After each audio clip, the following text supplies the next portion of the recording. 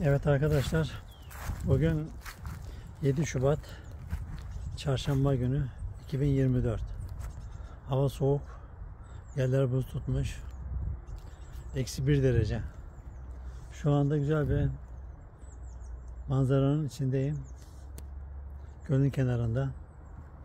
Arkamda az bir ormanlık var. İşte görürsünüz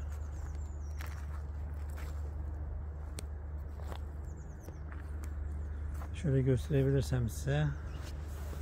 Dur bakayım. Evet. Eğer şöyle yaparsak çok güzel manzarası var. Evet arkadaşlar şimdi su o kadar yükselmiş ki göl bayağı yükselmiş. Şimdi görürsünüz.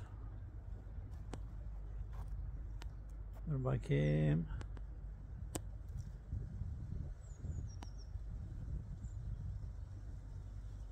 Güzel bir doğa manzarası. Şimdi burada şu gördüğünüz kısımda yürüme yolu ve bisiklet yolu vardı. Olduğu gibi su içinde kalmış buralar. Bakın. Şimdi bu yolun devamını ben size göstereceğim.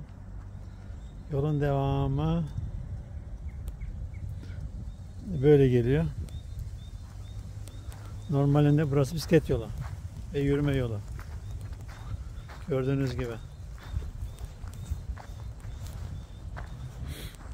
Su fena yükselmiş. Tabi kar yağdı. Don oldu. Ya, sular kar eridi. Bakın bulunduğum yer. Olduğu gibi su. Ağaçlar suyun içinde kalmış. Çoğu suyun içinde kalanlar çürümüş tabi.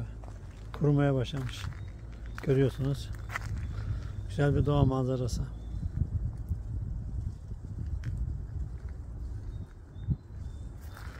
Ellerim buz tuttu vallahi.